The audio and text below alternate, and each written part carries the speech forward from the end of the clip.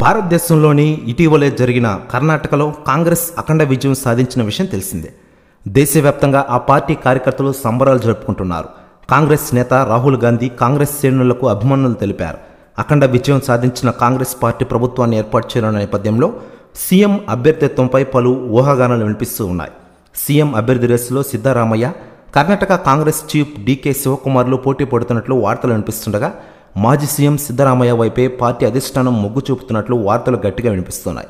Party అఖండ విజయంలో కీలక పాత్ర పోషించిన డీకే శివకుమార్ను పార్టీ అధిష్టానం తోసిపుచ్చినప్పటికీ సిద్ధరామయ్యకే సీఎం పదవికి కట్టబెట్టినందుకు కాంగ్రెస్ అధిష్టానం యోచిస్తున్నట్లు ప్రచారం అయితే గట్టిగా సాగుతోంది.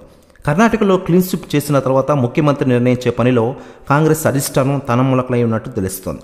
సీఎం రేసులో ఇద్దరు అగ్రనేతలు మాజీ సీఎం రేసుగురం సిద్ధరామయ్య రాష్ట్ర Congress chief trouble shooter D K శివకుమార్లో ఎవరికి సీఎం కుర్చీ కట్టబెట్టారో అగ్రిష్టానం మల్లగోళాలు పడుతున్నట్టు తెలుస్తోంది.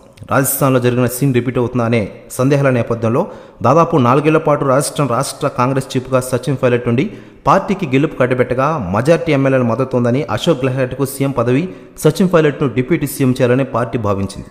పైలట్కు గాంధీల మద్దతు ఉన్నప్పటికీ ముఖ్యమంత్రి అవకాశం రాలేదు. ఇక ఇదిలా ఉండగా కర్ణాటకలో జరగబోయే ముఖ్యమంత్రి ప్రమాణ సభకి తెలుగు ఇండస్ట్రీ నుండి ప్రముఖులు వెళ్తున్నారట. ఈ మేరకు అందుతున్న సమాచారం ప్రకారం ఈ భారీ సభకి మెగాస్టార్ చిరంజీవి గారికి ఆహ్వానం వచ్చిందట. నేరుగా రాహుల్ గాంధీ గారే ఆహ్వానాన్ని పంపారట చిరంజీవి గారికి. ఇదివరకే కాంగ్రెస్లో సెంట్రల్ మినిస్టర్గా పనిచేశారు మెగాస్టార్ చిరంజీవి గారు. ప్రెస్ న్యూస్ కూడా తెగ వైరల్ అవుతాం